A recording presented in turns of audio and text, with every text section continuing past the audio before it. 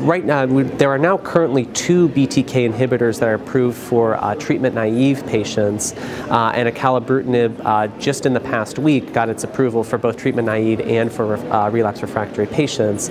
Um, so, I, in contrast, uh, venetoclax is a fixed duration therapy and BTK inhibitors are indefinite therapy. And so those both have labels for treatment naive CLL patients.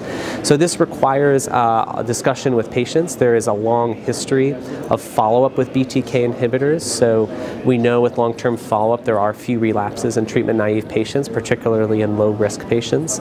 Uh, but fixed duration therapy is very appealing. And so this is a discussion that I have, particularly in a younger patient. Fixed duration therapy might be something that's worth doing.